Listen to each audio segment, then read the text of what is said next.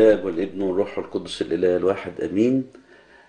آه هقرأ معاكم آه بضع آيات من آه الإصحاح الخمسة وعشرين من سفر العدد لموسى النبي بركاته على جميعنا آمين.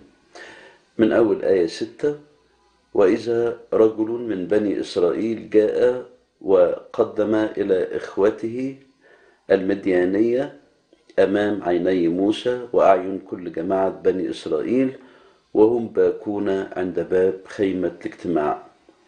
فلما رأى ذلك فنحاس بن العازر ابن هارون الكاهن قام من وسط الجماعة وأخذ رمحا بيده ودخل وراء الرجل الإسرائيلي إلى القبة وطعن كليهما الرجل الإسرائيلي والمرأة في بطنها. فامتنع الوباء عن بني إسرائيل وكان الذين ماتوا بالوباء أربعة وعشرون ألفاً. فقال الرب لموسى فنحاس ابن العازر ابن هارون الكاهن قد رد سخطي عن بني إسرائيل بكونه غار غيرتي في وسطهم حتى لم أفني بني إسرائيل بغيرتي. لذلك قل ها أنا ذا أعطيه ميثاقي ميثاق السلام فيكون له ولنسله من بعده ميثاق كهنوت أبدي لأجل أنه غار لله وكفر عن بني إسرائيل. وكان اسم الرجل الإسرائيلي الذي قتل مع المديانية زمري بن سالو رئيس بيت أب من الشمعونيين. واسم المرأة المديانية المقتولة كزبي بنت صور هو رئيس قبائل بيت أب في مديان مجدا للثالوث الأقدس الآب والابن والروح القدس الآن كل أوان دار دور أمين. أهلا بيكم من جديد. دي حلقة جديدة في سلسلة المجهولون في الكتاب المقدس. وإحنا اتفقنا إن دي طريقة من طرق دراسة الكتاب المقدس إن ناخد شخصيات مش معروفة قوي أو المعلومات المتاحة عنها أو متوفرة عنها قليلة. وبنسلط الضوء عليها من أكتر من جانب ومن خلال الشخصية المجهولة أو الشبه مجهولة دي بنتفرع شوية في بعض الأسفار ونتعرض لبعض الشخصيات والأماكن والمواقف.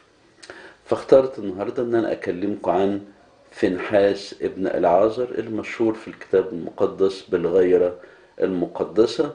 ومرة تانية الجزء اللي أنا قريته ده من سفر العدد الأصحاح الخامس والعشرون. ممكن أديله عنوان هو غيرة بيتك أكلتني.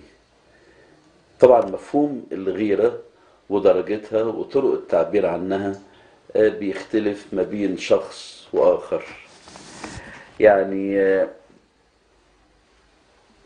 بي بيتحرك أو بينحصر بين التعقل والتهور ما بين الفهم السليم والفهم الخاطئ. وساعات واحد يعبر عن غيرته بأنه يرفض حاجة معينة تصرف معين من جواه ويكتفي بأنه مش هيكرره. وأحيانا واحد يعلق بشكل لطيف وأحيانا حد يعلق بشكل حاد شوية. وساعات يتجاوز التعليق أو رد الفعل لما هو أصعب من كده. الغيرة المقدسة مختلفة عن الغيرة التي ليست حسب مشيئة الله زي ما القديس بولس الرسول ذكر. يعني موقف مثلا حد يلاقي صحن الكنيسة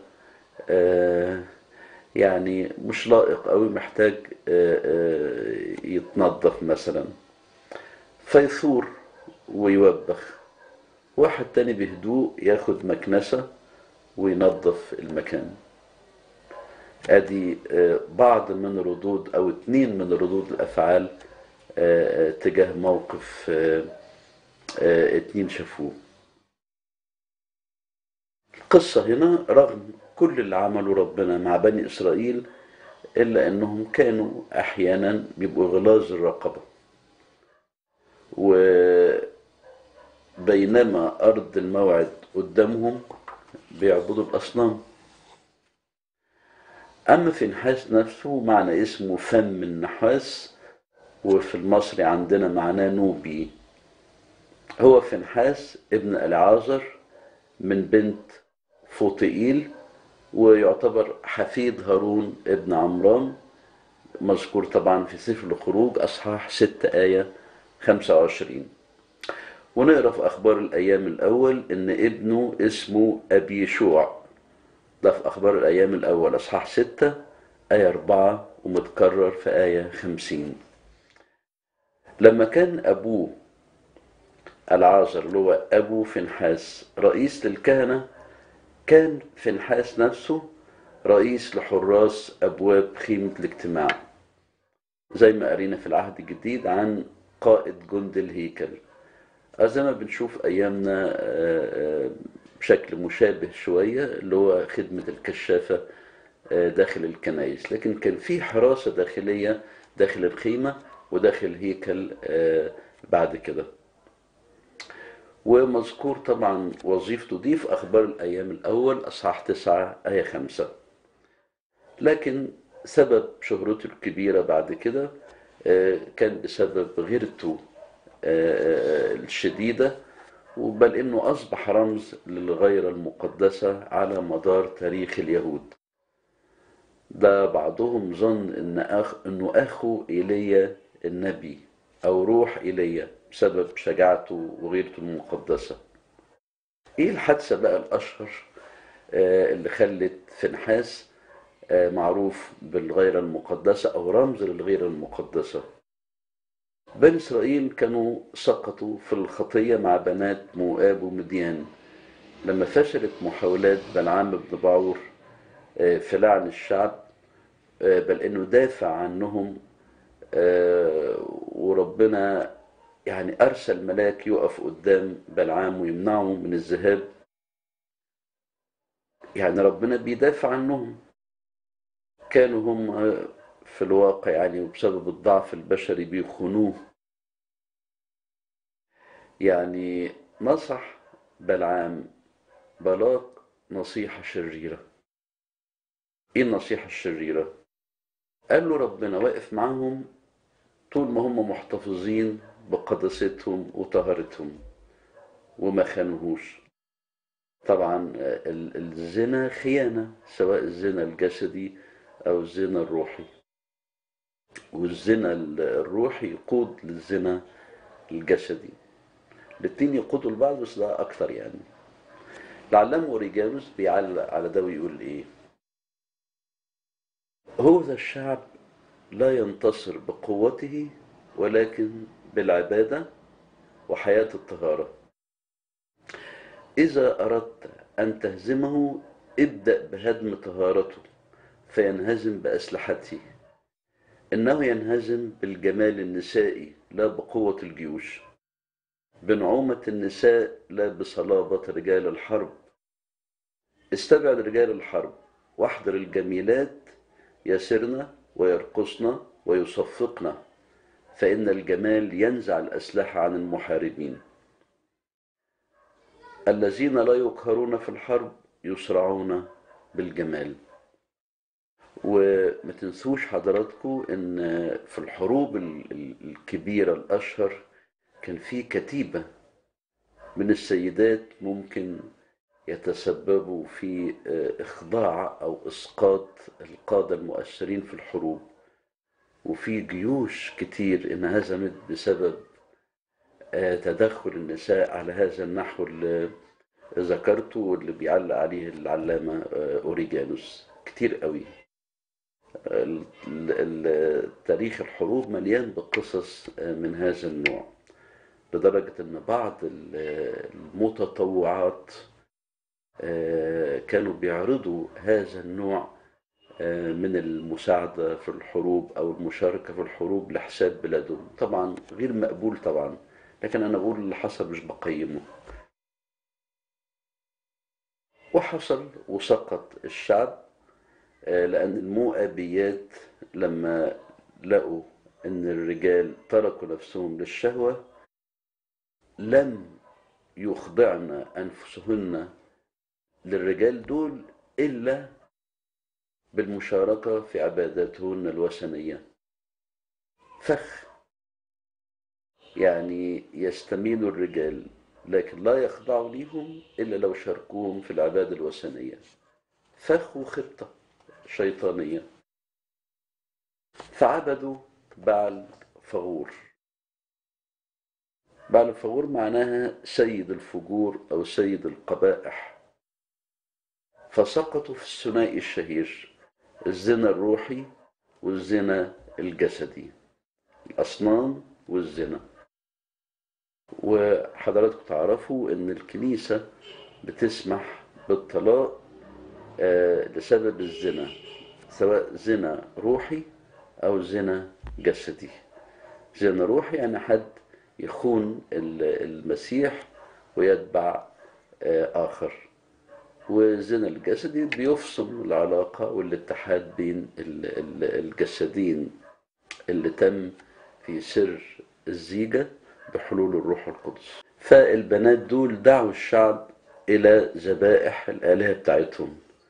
فأكل الشعب وسجدوا لآلهتهن.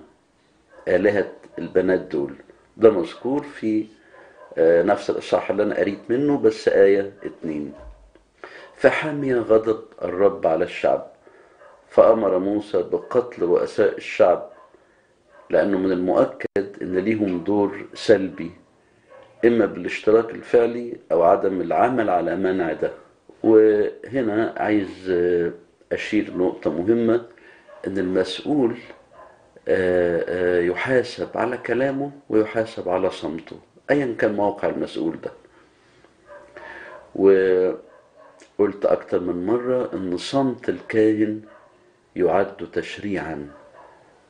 فإن كانت الشريعة تؤخذ من فم الكاهن من فم الكاهن تطلب الشريعة حسب ما الكتاب قال فمن صمت الكاهن أيضا يأتي تشريع. طالما شاف حاجة وسكت يعني هو مش موافق موافق عليها أو مش معترض عليها. لذلك تلاقي الآباء دايما يعلقوا بلطف على أي حاجة غلط يشوفوها. يبقى هو سجل إنه معترض على التصرف ده. أو شاهد للحق آه، بحسب الموقف نفسه ساعات بينه وبين الشخص وساعات لو الخطأ علني لازم علنا يوبخ الخطأ ده. زي, زي ما حصل مع يوحنا المعمدان يوحنا المعمدان لأن الخطأ كان معروف كان كل الناس عارفين أن هيرودس وهيرودية مخطئين فلذلك كان آه، ما يضيعش فرصة علشان يقول لا يحل لك. مسؤولية طالما قبل الشخص المسؤولية آه، فمن ضمن آه، المسؤولية دي أو مسؤولياته إنه يعلق على لو في حاجة خطأ. ضرب الرب الشعب بالوباء ولم يمنع الوباء إلا بعد أن غار في انحاس غيرة الرب. ومات من الشعب 24 ألف.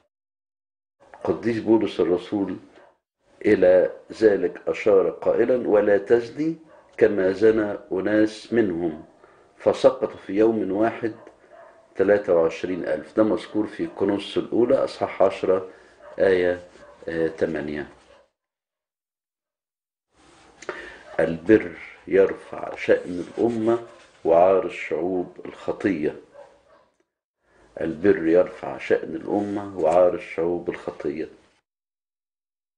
القديس بولس الرسول سمى الولايم دي اللي اشترك فيها رجال إسرائيل مع بنات المؤابيات والمديانيات سماها مائدة الشيطان. ده في كورنثوس الأولى عشرة آية 21 خلال فوضى سقوط بني إسرائيل في الخطية جاء أحد ال- القادة اسمه زمري ابن سالو وده رئيس بيت في عشائر الشمعونيين ومعاه امرأة وثنية اسمها كزبي بنت سور. سور ده شخص قائد يعني.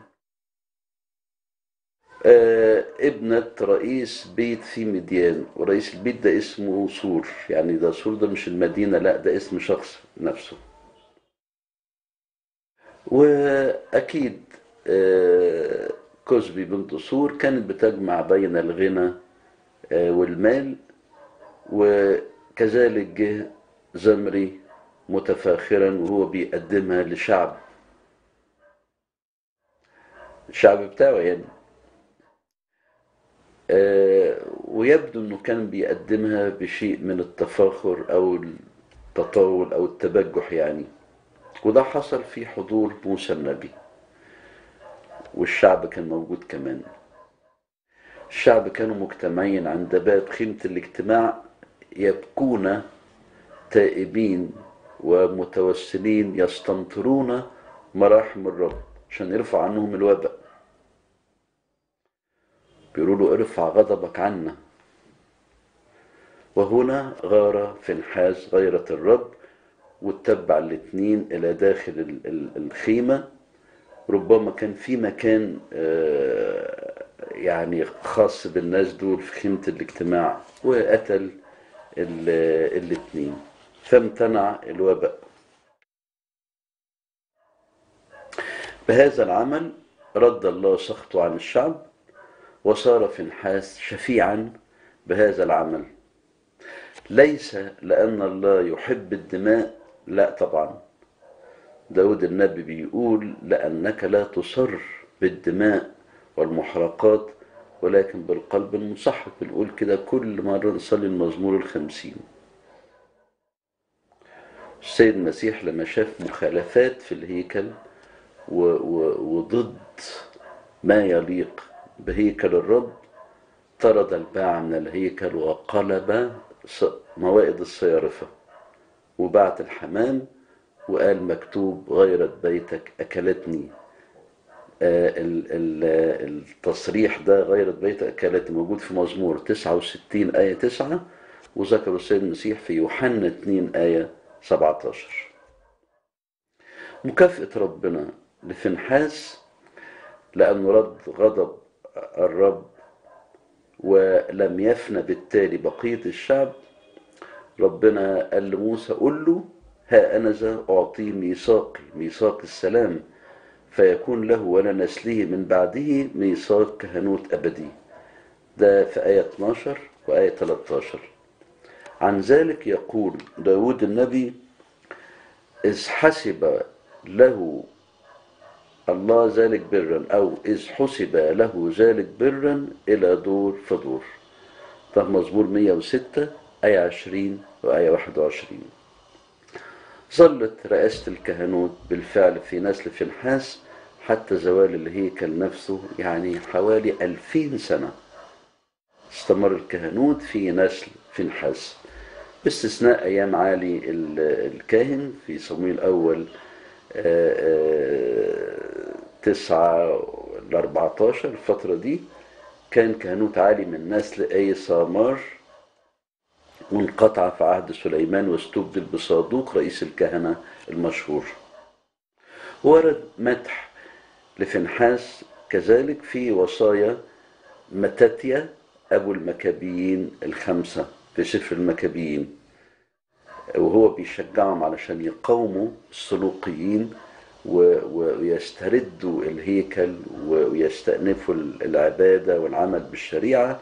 آه، ذكر لهم يوسف الصديق آه، يشوع بن نون كالب بن يفنة داود ال- ال- النبي والملك إيليا النبي الناري آه، دانيال القوي الحكيم وفنحاس أبونا قال فنحاس أبونا غار غيرة الرب فنال كهنوت أبدي. آه، اللي قالوا متاتيا أبو المكابيين الخمسة مذكور في المكابيين الأول أصحاح 2 آية 48 لآية 70 بقية أخبار فنحاس بعد الحادثة دي خرج أمر الرب للانتقام من المديانيين ومضايقي بني إسرائيل. فخرج فنحاس على رأس جيش من 12 ألف جندي للانتقام من المديانيين فانتصروا عليهم. ده في نفس السفر أصحاح 31 آه، آية 1 ل 12 بعد امتلاك بني إسرائيل لأرض كنعان إدوا فنحاس مدينة جبعة جبعة يعني مرتفعة وسميت لاحقا جبعة فنحاس آه، مبنية آه، كمدينة على مكان مرتفع. ده في جبل فرايم. أعطيت له ميراث لي. هناك على فكرة دفنوا العازر أبوه. وده مذكور في يشوع 24 آية 33 بعد كده في وقت لاحق لما سمع بنو إسرائيل إن رأوبين وجاد ونص السبت منسى بنوا مذبح على الأردن خافوا بني إسرائيل إن يكون المذبح ده مذبح انشقاقي. فبعتوا وفد لاستطلاع الأمر وكان برئاسة فنحاس اللي تأكدوا معاه آه، رفاقه أن المذبح أقيم ليكون شاهد للفريقين. وبالتالي حقن الدماء وتراجع الشعب عن محاربتهم آه، ظنا أنهم عملوا خيانة. ده موجود في سفر يشوع صح 22 من آية 12 لآية 34 في معركة بني إسرائيل مع بنيامين بسبب فاجعة سرية اللاوي المذكورة في الأصحاحات الأخيرة من سفر القضاة تنبأ فنحاس إن الشعب هينتصر في الجولة الثانية آه، من المواجهة وده مذكور في قضاء 20 آية 28 في عصر آه، عزرا ونحمية آه، عند الرجوع من السبي نقرأ عن البعض من نسل فنحاس من بين الراجعين من السبي. عزرا الكاتب نفسه من نسل فنحاس مذكور في عزرا سبعة آية خمسة وجرشوم مذكور في عزرا ثمانية آية اتنين عايز أقول كلمة أخيرة. في غيرة ليست حسب مشيئة الله. قال عنها القديس بولس الرسول مشيرا لليهود لأني أشهد لهم أن لهم غير لله ولكن ليس حسب المعرفة. ده في رومية عشرة آية اتنين. الغير المقدسة تدفع الشخص إنه يعمل أكثر مما ينتقد. تدفعه للصلاة أكثر من الإدانة. آه، أحيانا واحد باسم الغيرة بيعصر آخرين. واحيانا باسم الغيرة يخالف بعض الوصايا. أحيانا باسم الغيرة يخسر ناس كتير. وعلى رأي اللي قال كثيرون ذبحوا على مذبح الله والله غير راضي لأنه ليس بذبائح مثل هذه يسر الله. بذبائح مثل هذه لا يسر الله. فساعات تبقى الغيرة مش حسب مشيئة الله. وتحت بقى آه، عنوان الغيرة وتحت آه، أو بسبب أو بمبرر الغيرة المقدسة ده في تراشق وفي كلمات صعبة آه، وفي توتر واللي بيحضر النقاش يتوتر. ويستغرب جدا ده المفروض يعني آه، اللي بيتكلموا عن ربنا يشيعوا السلام اللي بيتكلموا آه، عن آه، المقدسات يعني يتكلموا بطريقة مقدسة. المتنيح البابا شنودة لما كان بيرسم أب مطران للكرسي الأورشليمي قال أرجو أن نحرس المقدسات بطريقة آه، مقدسة. وناس كتير ساعات يعصروا بسبب الصدمات آه، آه، اللي بتحدث نتيجة خلافات في الأفكار أو عرض العقيدة بشكل في في شيء من من من من التوتر والإدانة والهجوم بشكل غير مريح يعني. في سيرة المكابيين الخمسة في القرن الثاني قبل الميلاد واحد منهم اسمه العازر. آه، لما لقى الأعداء جايين وراكبين على ناقلات جنود فيا لكن في فيرة ناقلات جنود. فأخدته الغير المقدسة ودخل تحت فيل منهم وطعنه بالخنجر. فوقع عليه الفيل مات. يعني الغيرة نفسها كانت محتاجة برضو يفكر بشكل أفضل آه، فقد حياته وكان ممكن يشترك بشكل أو بآخر آه، بدون ما يتسرع كده. شمعي ابن جيرة لما شتم داود النبي وحاول شخص آخر يقتله داود النبي رفض وقال له سيبه.